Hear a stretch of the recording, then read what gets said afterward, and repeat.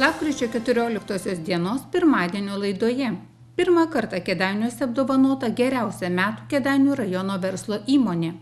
Medikai spėja, būkite atidus, eidami slidžią kelio dangą. Savaitgalinės rusų mokyklėlės bendruomenė pakvietė į padėkos vakarą.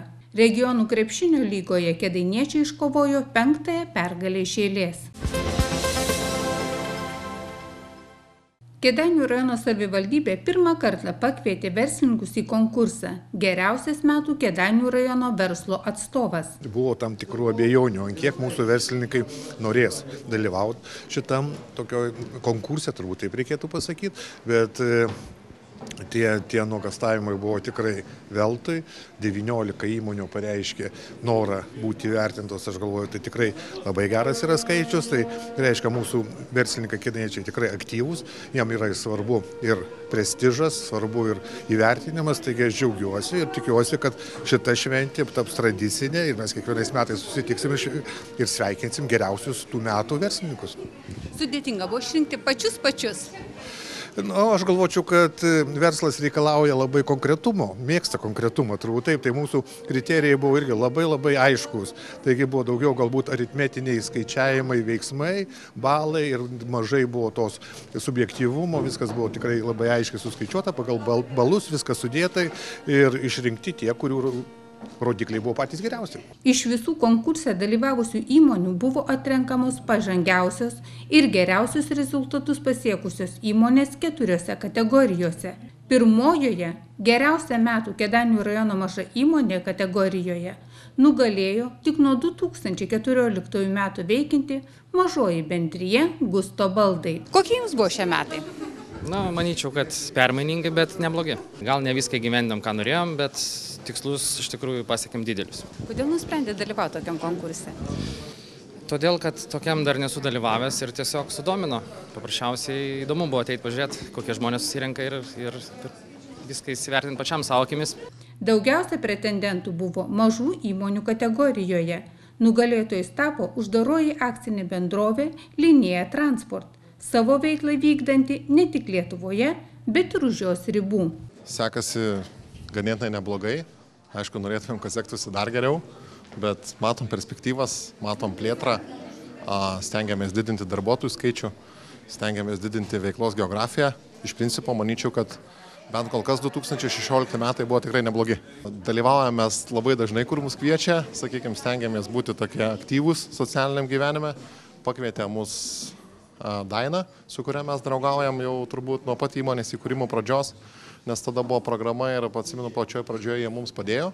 Tai tiesiog taip, kažkaip visada, visada žinom, kad kedainiuose verslininkai nėra aktyvūs, nedalyvauja renginiuose ir, sakykime, labai dažnai tenka susidurti, kad jeigu būna kažkoks seminaras ar kažkas, tai yra vienetai, ne, ne dešimtys, kaip atrodo turėtų būti, ne, o tik tai susirenka vienetai. Tai visada stengiamės visur dalyvauti, todėl dalyvaujame ir čia.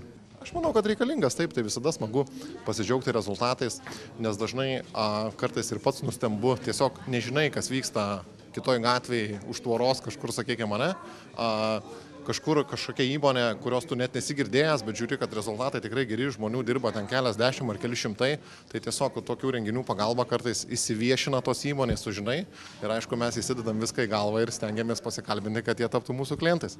Vidutinių įmonių kategorijoje nepralenkiama buvo uždaroji akcinė bendrovė Dotnuva Baltic kuri net 36 tūkstančius eurų skyrė bendruomeniai. Dotnuva Baltic metai buvo iš tiesų sėkmingi. Mes šiais metais atšventėm savo 20-metį, bet tuo pačiu ir turėjome didelį virsmą. Pakeitėme savo pavadinimą, pakeitėme savo, savo prekinį ženklą. Jie buvo sėkmingi ir finansiškai. Augimas e, visose šalise yra įspūdingas, jis bendras augimas iki 60 procentų. Tai, tai manau, kad galim vadinti šios metus labai sėkmingais. Kodėl nusprendė dalyvauti tokiam konkurse? Dalyvaujam gal įvairiuose konkursuose ir, ir, ir kad ir šiais metais mes buvom, buvom vieni, vieni geriausių atstovų e, kai kuriuose, kai kuriuose veiklose, e, bet e, laikome, kad, kad Kedainių kraštas, mūsų kraštas yra pats svarbiausias mums. Tai jeigu čia nedalyvauti, tai kur kitur dalyvauti. Geriausia metų Kedainių rajono labai didelė įmonė išrinkta akcinė bendrovė Nordic Sugar Kedainiai. Ne tik pelningai dirbanti įmonė, bet ir viena pagrindinių rajono bendruomenės socialinių projektų rėmėja. Šie metai buvo su iššūkiais, sviravimo metai, bet tuo pačiu e, su gražia, gražiom investicijom, kurios turėtų pagelbėti ateityje. Tai e, sandėlio investiciją užbaiginėjom šį mėnesį ir e, derlius didesnis, tai, tai daugiau tikimės ir apyvartus, ir pelno. Kodėl nusprendė dalyvauti tokiam konkurse? Tiesiog gavau pakvietimą iš mero, tai kaip čia atsisakysi, tai mielai, mielai sudalyvausiu ir pasižiūrėsiu, kokius čia verslo atstovus apdovano šiais metais. To, to labiau koncertas malonus, nu, su bendruomenė pabendrauti. Reikia pagirti ir verslo atstovus, nes e, verslas pritraukia į provinciją darbuotojų pritraukia gyventojų ir, ir, ir ta, nuo to gali ir savivaldybė klistėti. Lietuvos hidrometeorologijos duomenimis šią savaitę Lietuvoje formuosis plikledis. Todėl patarima būti atsargiems ne tik vairuojant automobilį, bet ir einant pėsčiomis.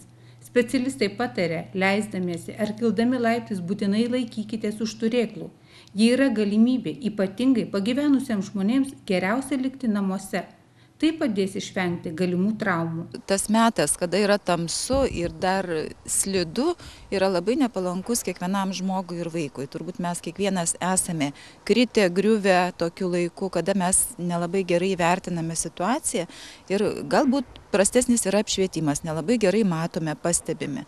Tačiau žinant kad sinoptikai jau praneša atšalimą ir kad taip turi būti ir plikledžio, ir sniego, ir, ir turi būti lietaus. Ir a, tiesiog reikia atkreipti dėmesį, kad pirmiausia, ką mes apsiauname, koks, kokia mūsų avalinė yra. Tiesiog tai turi būti pakeista jau, jau turbūt turėtume padėti savo lengvą avalinę, kuri yra mm, slidi, kuri gali būti nepatogi. Tiesiog pasieškoti jau tinkamą apavo ir kad būtų svarbiausia neslidu kad būtų protektorius tinkamas, kad būtų jis pritaikytas žiemai, rudeniui, būtent tokiam orui, kada drėgna, šalta.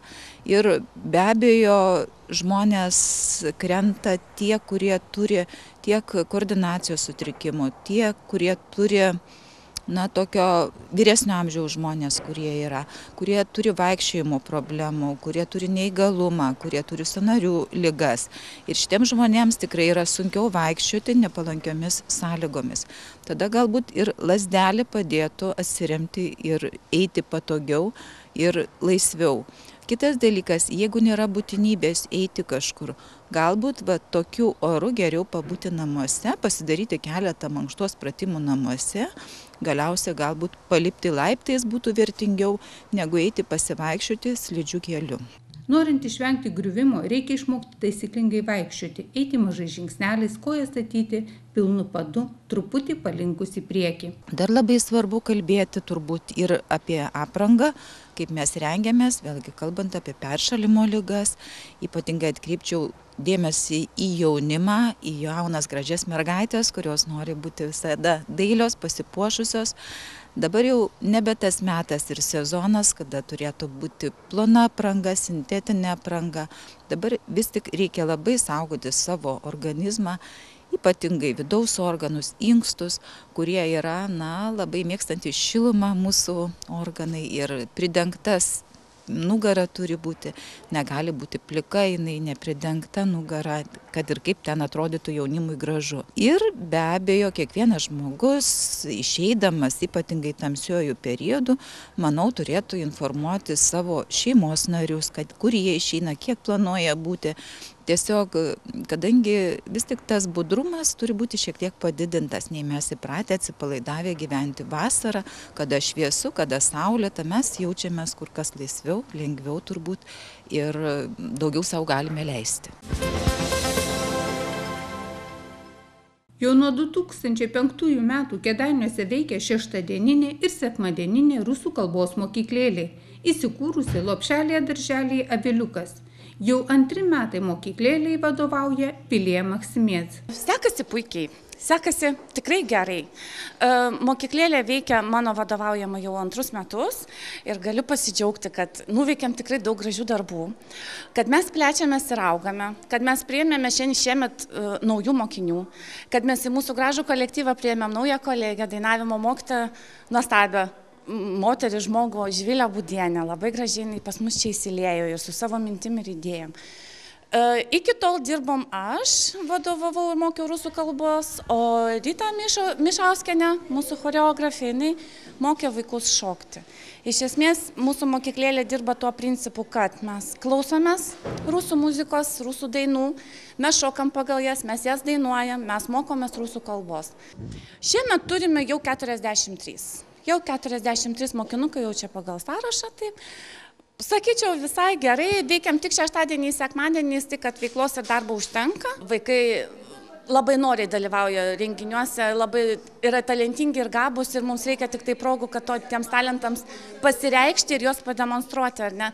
Tai va, jeigu anksčiau buvo renginukai tokie renginiai, ne daugiau suaugusių auditorijai skirta, tai dabar mes labai norėtume, kad ir vaikai vis dėlto bent jau vieną kitą numerį galbūt į, į, tą, programą, į tą programą įsilietų. Mes labai džiaugiamės, kai pas mus ateina tiek vaikai, kurie turi tas rusiškasias šaknis, tiek vaikai, kurie labai nori tiesiog išmokti kalbos, ne, tiek vaikai, kurie, mm, kurie nori ir gali pasireikšti visiškai kitoj srity, tarkim. Tai. Vėsų lapkričio vakarą lopšelėje darželėje Viliukas skambėjo rusiškos dainos, širdį virpino ilgesingi romansai, trypė šokėjai. Šiuo gražiu koncertu šeštadieninės ir sekmadieninės rusų mokyklos auklėtiniai dėkojo padėjusiems suremontuoti jų klasę ir įsigyti naujus baldus. Šiandien renkamės ypatingą progą ir pasikvietėm labai daug nuostabių žmonių, taip, ir be galo dėl to džiaugiamės. Ir labai džiaugiamės, kad mus taip visi palaikė. Bet proga yra kokia. Ši mokyklėlė gyvavo jau dešimtį metų, ar ne? Ir kai aš atėjau praeisiais metais rugsėjo mėnesį ir pamačiau tas patalpas, aš džiaugiausi. Džiaugiausi, kokios jos didelės, kokios jos erdvės, kaip ten bet, bet buvo baisu. Atrodė tikrai labai nykiai, niūriai ir man buvo netgi labai nesmagu kviesti vaikus į tokias patalpas. Ejau į savivaldybę, kreipiausi, prašiau, atkreipti mūsų dėmesį, išsakiau iš tikrųjų visą situaciją. Pas mus buvo atvykusi vicemerė Olga Urbonenė. Ne. Tiesiog pasižiūrėti, aš nesiskundžiu ir ne, ne, tiesiog įvertinkit, prašau, atkreipkite mūsų dėmesį. Mes buvom pastebėti ir mums padarė, mums po naujų metų skyrė lėšų. Per vasarą e, atostogų metu direktorė jau Aviliuko organizavo remontą ir dabar mes džiaugiamės visiškai naujomis patalpomis, visiškai naujais baldais, visiškai nauja aplinka ir net kai vaikai, va, kurie praėjusiais metais lankė, atėjo, wow, wow. Todėl tokią progą reikia švesti. Šeštadieninė mokyklėlė, kai kreipėsi jūs, ar galvot, kad galėsit pagelbėti jiems? Be jokios abejonės, kiekvieną prašymą reikia svarstyti, žiūrėti ir pasitarėm su meru ir radom tokią galimybę. Šiandien jau džiugu? Taip, be jokios abejonės. Visada yra džiugu, kai gali padėti, kai gali padaryti kažkokį gerą darbą, tai bet kokiu atveju džiugina. Šeštadieninė, sekmadieninė rusų kalbos mokyklėlė svarbi Kėdainių miestui, reikalinga? Aš manau, kad svarbi, vien žiūrint į lankytojų skaičių, vien žiūrint į tai, kad yra populiaru, kad tai yra naudinga, tikimės, kad ir ateityje tai bus. Jau antrą sezoną regiono krepšinio lygoje startavo ir Kedainiečiai sporto centro komanda vadovaujama Kastyčio Kundroto. Šiais metais lygoje ypatingas dėmesys skirtas jaunimui.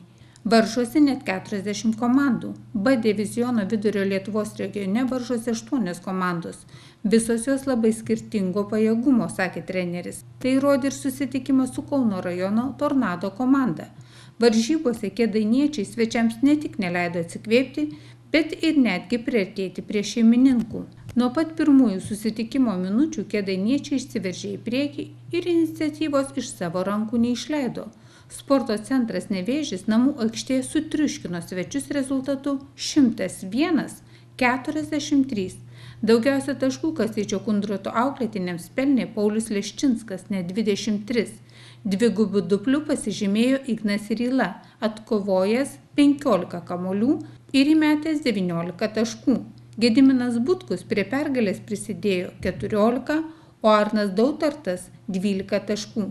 Tai buvo penktoji kėdainiečių pergalė šiame regionų krepšinio lygos sezone iš tiek pat galimų. Penktoji pergalė iš eilės džiugina? O kaip ne, aišku, džiugina penkios.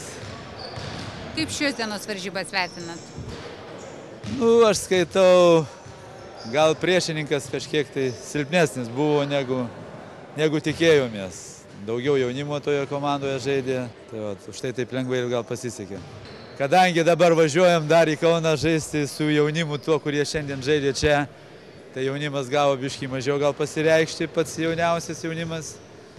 O taip, nu, sakau, priešininkas nėra, nebuvo stiprus, nėra ką įvertinti komandą, laisvai laimėjom ir. Lygoje yra 24 komandos, yra visokių, yra ir silpnesnių, bet yra tikrai komandų, kurios miestai, kurie neturi LKL, nacionalinėje lygoje komandų, tai jos visą dėmesį sutelkia į regionę lygą ir ten tikrai jau metami ir nemaži pinigai ir žaidėjai iš visur perkami, samdomi, žodžiu, teks turbūt susitikti ir su visais. O komandos lyderiai jau išriškėjo. Nu, kad kaip tik tai šiais metais jaunimas labai ūktelėjo, sutvirtėjo, tie mūsų 17-mečiai, 18-mečiai, praeitais metais dar jie buvo kažkur žalesni, dabar jau jie pasis, pasisėmė patirties. Ir aš skaitau, kai keiti žaidėją, nu, neturi reikšmės ten, ar tą pakeis, ar ką. Turim labai lygiavertę komandą. Sekančios rungtynės irgi su lyderiais bus, žaisime prienuose. Nu ką, mes visą laiką tik tai pergalių.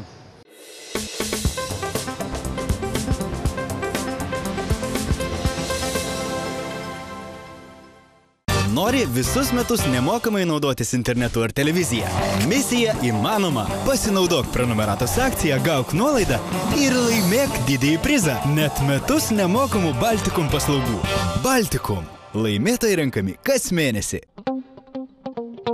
Lapkričio 27 dieną 16 val. Kedainių kultūros centre liaudiškos muzikos vakaras su kapelomis Vilainiai, Kedainių kultūros centras, Mingė iš Klaipėdos, Vakarą ves ir dainuos operos solistas Liudas Mikalauskas. Bilietus galima įsigyti Kedainių kultūros centro kasose. Lapkričio 29-18 val. Kedainių kultūros centre Kedainių miesto seniūnijos bendruomenių advento vakaras.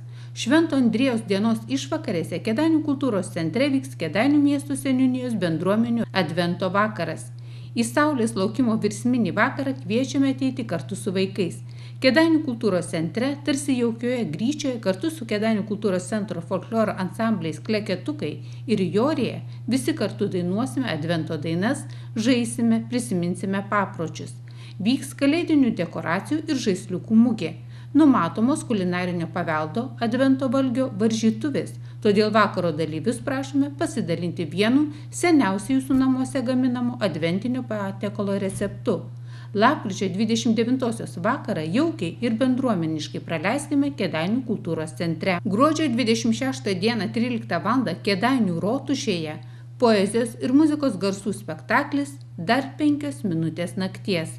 Kviečiame pasinerti į muzikos garsų harmoniją, kurią atlieka aktorius, autorinių dainų atlikėjas Bardas Gedrius Arbačiauskas ir violončelininkė Agnė Arbačiauskenė.